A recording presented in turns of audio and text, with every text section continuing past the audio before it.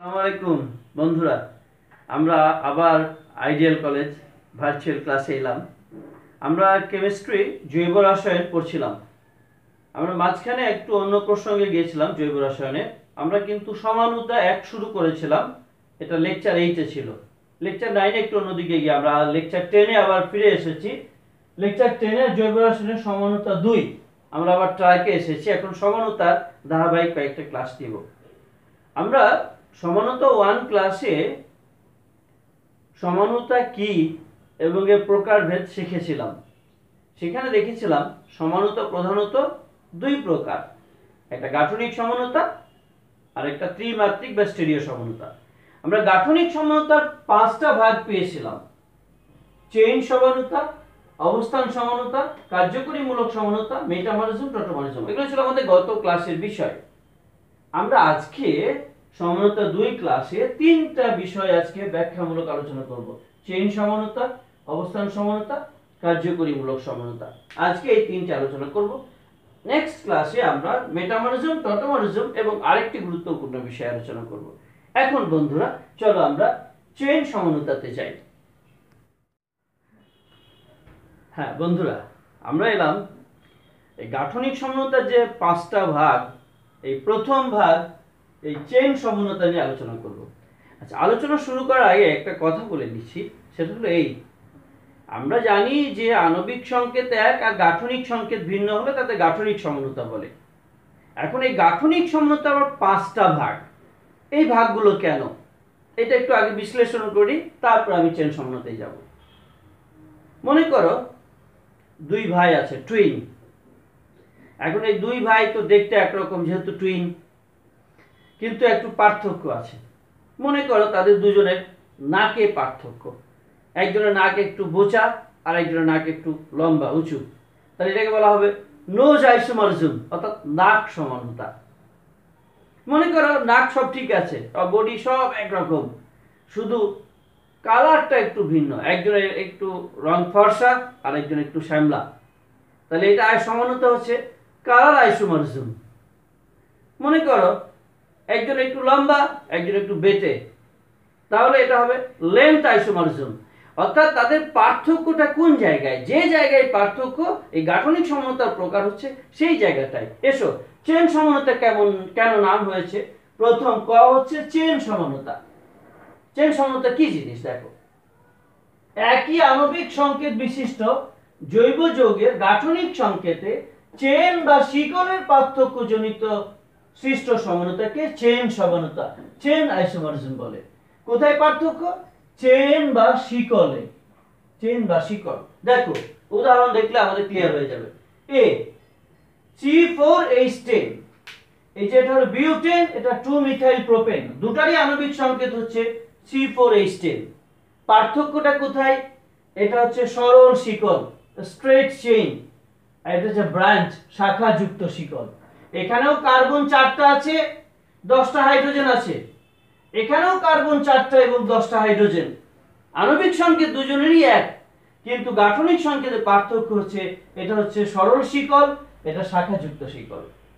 আশা করি বোঝাতে পারছি। আরেকটা দেখাই। এই যে C four C five H twelve এটা তোমাদের গত লেকচারে কিন্তু মানে লেকচার এইটে কিন্তু এটা টেস্ট হিসাবে দিয়েছিলাম যে এই দুটা কি সমানু? গাঠনিক না ত্রিমাত্রিক? তোমরা সবাই গাঠনিক বলেছিলে, সঠিক উত্তর দিয়েছিলে। হ্যাঁ সেটাই আজকে দেখছি আমরা, দেখো। সি ফাইভ এইচ টুয়েলভ এর তিনটা সমানু হয় একটা হচ্ছে pentane two methyl butane two two dimethyl propane লক্ষ্য করো, এটা হচ্ছে সরল শিকল। এখানে কিন্তু পাঁচটা কার্বন, বারোটা হাইড্রোজেন আছে। এখানেও পাঁচটা কার্বন, বারোটা হাইড্রোজেন। কিন্তু পার্থক্যটা কোথায়? এটাতে একটা শাখা আছে, একটা শাখা। এখানেও পাঁচটা কার্বন, বারোটা হাইড্রোজেন, কিন্তু দুইটা শাখা। এটা pentane, two methyl butane, two two dimethyl propane. অর্থাৎ এরা সবাই পরস্পর গাঠনিক সমাণু এই গাঠনিক সমাণুর আবার কোন জায়গাটায়? শিকলে পার্থক্য। তাই এরা চেন সমাণু অর্থাৎ গাঠনিক সমানুতার পাঁচটা ভাগের মধ্যে যে ভাগটা প্রথম ভাগ চেন সমানুতা। আশা করি বোঝাতে পেরেছি। এখন আমি যাচ্ছি দ্বিতীয় ভাগটাতে। বন্ধুরা, আমরা এখন এলাম গাঠনিক সমানতার দ্বিতীয় ভাগে। দ্বিতীয় ভাগ হচ্ছে খ, অবস্থান সমানতা। অবস্থান সমানতার গঠনে কোথায় পার্থক্য সেটা আমরা একটু দেখি। এখানে সংজ্ঞাটাকে আলোচনা করি। একই কার্যকরী মূলকের, একই কার্যকরী মূলক বিশিষ্ট সমানুর গাঠনিক সংকেতে কার্যকরী মূলকের অবস্থান, কার্যকরী মূলকের অবস্থানের ভিন্নতা জনিত কার্যকরী মূলকের অবস্থানটা ভিন্ন হবে। সমানতাকে অবস্থান সমানতা বলে। তাহলে কার্যকরী মূলকের অবস্থানটা যদি ভিন্ন জায়গায় হয়, তাহলে সেটাকে অবস্থান সমানতা বলে। আমরা এক্সাম্পলটা দেখলে ক্লিয়ার হয়ে যাবে। দেখো, আণবিক সংকেত হচ্ছে C three H eight O এটা হচ্ছে প্রোপানল ওয়ান এখানে কার্বন তিনটা আছে হাইড্রোজেন আটটা আছে অক্সিজেন একটা আছে। এটা হচ্ছে প্রোপানল টু এখানেও কার্বন আছে তিনটা হাইড্রোজেন আছে আটটা এবং অক্সিজেন আছে একটি। কিন্তু পার্থক্যটা কোথায়? এই OH মূলকটি এক নাম্বার কার্বনে। এখানে OH মূলকটি দুই নাম্বার কার্বনে। এটা হচ্ছে প্রোপানল ওয়ান এটা প্রোপানল টু এটা গাঠনিক সমাণু কোন ধরনের গাঠনিক সমাণু কার্যকরী মূলকের অবস্থান ভিন্ন, তাই এদের অবস্থান সমাণু বলে। আরেকটা উদাহরণ দেখি। যে সি ফোর এইচ এইট এটা হচ্ছে অ্যালকিন। এটা এটাতেও চারটা কার্বন, আটটা হাইড্রোজেন, এখানেও চারটা কার্বন, আটটা হাইড্রোজেন। এটা হচ্ছে বিউট ওয়ান ইন, এটা বিউট টু ইন। এখানে এই দ্বিবন্ধনটা হচ্ছে এক নাম্বার কার্বনে, আর এখানে দ্বিবন্ধনটা হচ্ছে দুই নাম্বার, এদিক থেকে দুই, এদিক থেকে দুই দুই নাম্বার কার্বনে, আর এদিক থেকে এক নাম্বার কার্বনে। তাহলে দ্বিবন্ধনের অবস্থানটা হচ্ছে এক নাম্বার কার্বনে, এখানে দুই নাম্বার কার্বনে। যদিও দুটা অ্যালকিন বা বিউটিন, কিন্তু এদের দ্বিবন্ধনের অবস্থান হচ্ছে ভিন্ন।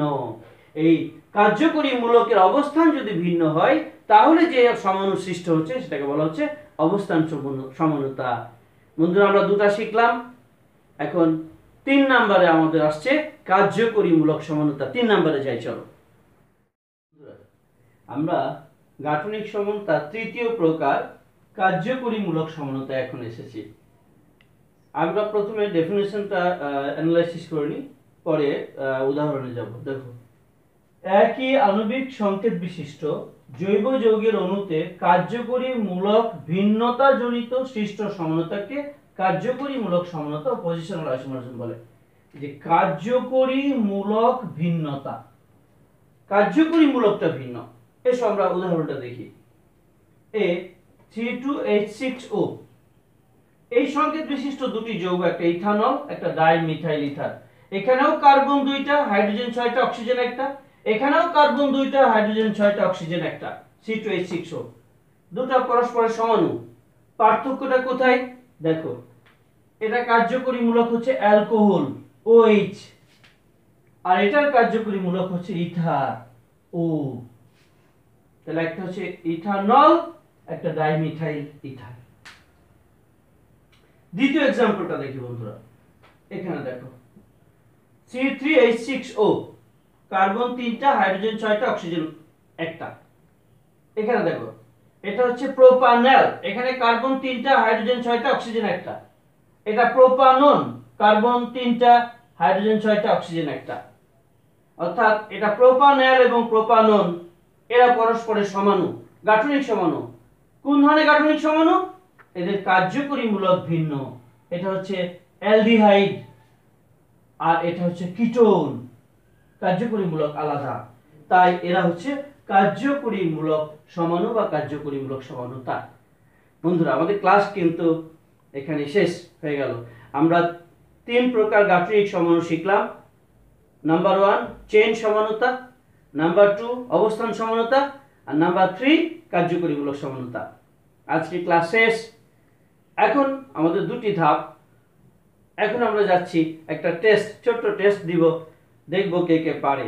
তারপর গত টেস্টের রেজাল্ট পর্যালোচনা। চলো আমরা টেস্টে যাই। হ্যাঁ বন্ধুরা, আমরা এখন আবার টেস্টে এলাম। দেখো, আমি একটা যৌগ দিয়েছি, যার গাঠনিক সংকেত হচ্ছে, আণবিক সংকেত C three H seven BR এটা জাস্ট হ্যালোজেন যৌগ ব্রোমিড প্রতিস্থাপক। এটা দুটা সংকেত দিয়েছি। একটা ওয়ান ব্রোমোপ্রোপেন একটা টু ব্রোমোপ্রোপেন আমার প্রশ্ন হলো এ এবং বি এরা পরস্পর চেন সমানু, অবস্থান সমানু, কার্যকরীমূলক সমানু। কোনটা সঠিক উত্তর? পি কিউ আর তোমার নাম লিখে সেকশনে কমেন্টসে পাঠিয়ে দেবে। ধন্যবাদ, আমার ক্লাস শেষ। এখন জাস্ট একটা ধাপ বাকি। সেটা হচ্ছে, গত লেকচারে যে টেস্ট দিয়েছিলাম, সেটার উত্তর অ্যানালাইসিস বা পর্যালোচনা। সেখানে যাই আমরা। হ্যাঁ বন্ধুরা, এখন আমরা লেকচার নাইনের যে প্রশ্ন ছিল, তার উত্তর পর্যালোচনা করব। প্রশ্নটা ছিল, এ একটি যৌগ, বি একটা যৌগ, সি একটা যৌগ। তিনটা যৌগের মধ্যে আমার প্রশ্ন সঠিক উত্তর কোনটা?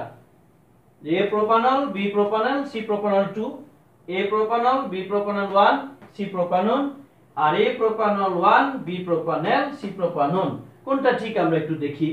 যদিও তোমরা প্রায় সবাই উত্তর ঠিক দিয়েছ, তারপর দেখে নিই।